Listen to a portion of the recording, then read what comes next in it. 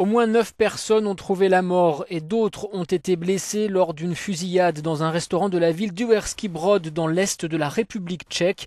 Un homme armé a ouvert le feu dans l'établissement aux alentours de 13h heure locale. Le ministre de l'Intérieur a indiqué que le suspect était lui aussi décédé sans préciser dans quelles circonstances. Selon le maire de la ville, il s'agirait d'un habitant local âgé d'une soixantaine d'années.